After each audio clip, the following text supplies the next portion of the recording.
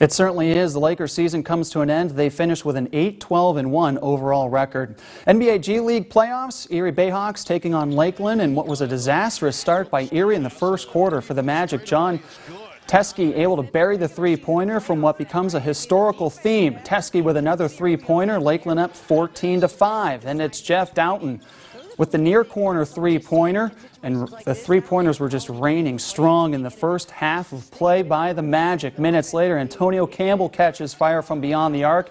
He finished with 25 points in this one. Lakeland led 40 to 15 after the first quarter. The Magic set a new NBA G League playoff record by making 21 triples.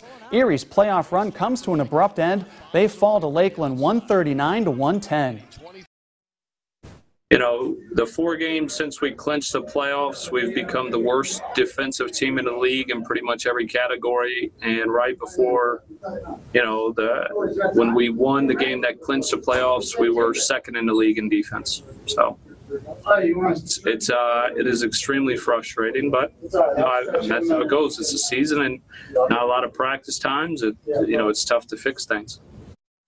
What was a promising start ends abruptly as the 2021 G League season comes to an end for Erie.